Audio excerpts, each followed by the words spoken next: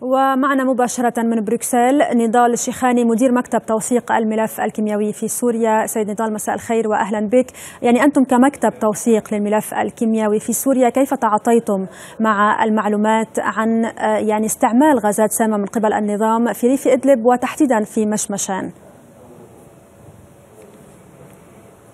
مساء الخير لك وللسادة المشاهدين. آه، تابعت ما آه، فرق الرصد الميداني طبعا هذا الانتهاك والعديد من الانتهاكات آه، الممنهجة والسابقة بالمواد السامة. طبعا دون تحديد النوعية لأن تحديد نوعية المواد يحتاج إلى مخابر وطبعا طبعا الجميع يعرف بأن الداخل يفتقر إلى هذه المخابر وإلى الخبراء للكشف عن المواد المستخدمة. لكن آه، آه، نحن نؤكد بأن هناك آه، طبعا حتى الساعة 14 انتهاك على ريف إدلب وريف حما تمت بغازات سامة وببراميل وقنابل تحوي على مواد لم يتم الكشف عنها بعد.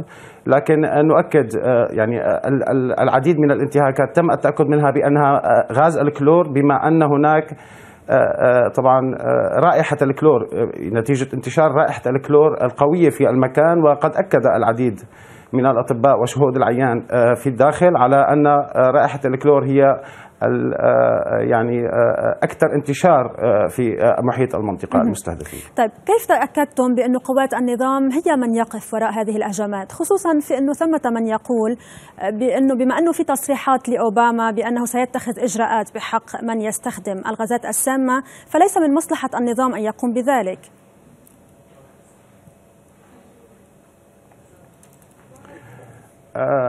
طبيعة الاستخدامات تمت من قبل الطيرانات الطيران الحربي. يعني هناك طائرات حربية تلقي ببراميل تحوي على اسطوانات آه، شبيهة باسطوانات التي تعبئ آه، غاز البرادات يعني بشكل عام. اسطوانات شبيهة بذلك تحوي على مواد مختلفة. وداخل هذه البراميل يوضع مواد أيضا متفجرة لكي تزيد فعالية انفجار هذا هذه المواد وتزيد من انتشارها. آه، آه، أغلب الشواهد التي حصلنا عليها إن كان آه، من الفرق في الداخل أو الصور والفيديوهات وكل الوثائق تدل على أن هناك انتهاك بالطيران الحربي. ومن ينفرد ومن ينفرد بامتلاك هذه الطائرات هو النظام السوري في سوريا. يعني ليس لدى الجيش الحر أو القوات يعني أو أو أي قوات عسكرية في داخل سوريا. طائرات حربية امتلاك الطائرات ينفرد آه، فيها النظام السوري.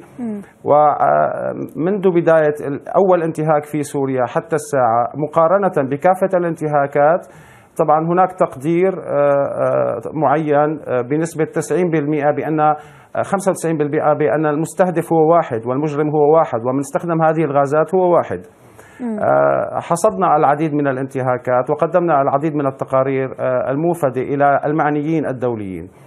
آه، بشأن الحراك الدولي على بما يتعلق بالأسلحة الكيميائية وإنتاج الأسلحة الكيميائية والانتهاكات بالأسلحة الكيميائية.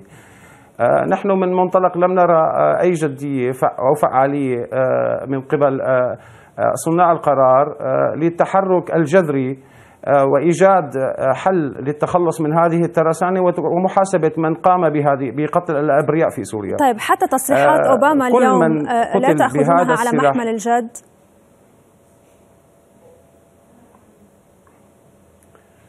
كما ذكرنا مسبقا الموضوع متعلق فقط بفرق التحقيق الدولي فرق تقصي الحقائق وهم المعنيين بشكل مباشر بشأن التفتيش و طيب ولكن هم لا يسمح لهم بالتفتيش. لكن هذه الفرق هذه الفرق حاولت مسبقا أن تدخل إلى العديد من المناطق في سوريا. في المعظمية حاولوا انتهاكهم. في خان العسل في جوبر بريف دمشق في منطقة كفر زيتا بطيبة الإمام وضعوا لهم عبوة في الطريق وأرسلوا لهم العديد من المسلحين وأطلقوا النار على سيارات اليو إن. ولذلك يعني المحققين أيضا آه، آه، هم بشر آه، يعني دخولهم إلى تلك المناطق هو دخول يعني يماثل الخطورة.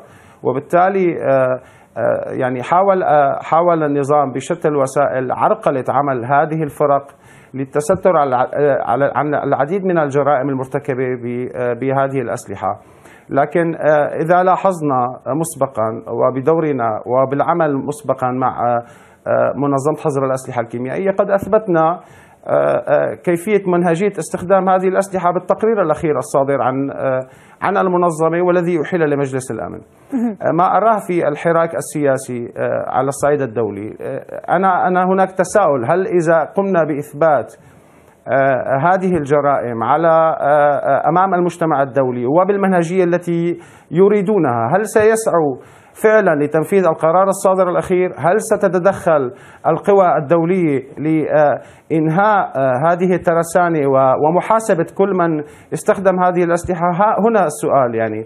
موضوع إثبات هذه الجرائم ليس هو الموضوع الصعب. الموضوع أه. هل هو يعني فقط قضية أن تتحقق يعني منظمة التي يعني منظمة حظر الأسلحة الكيميائية؟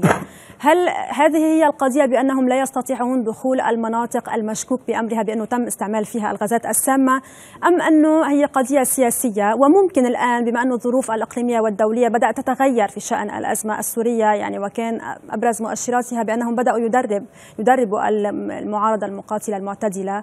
ممكن مثلا أن يتم غض الطرف عن عدم تحقق منظمة الأسلحة الكيميائية من فعلا استعمالها وتتم المعاقبة مثلا.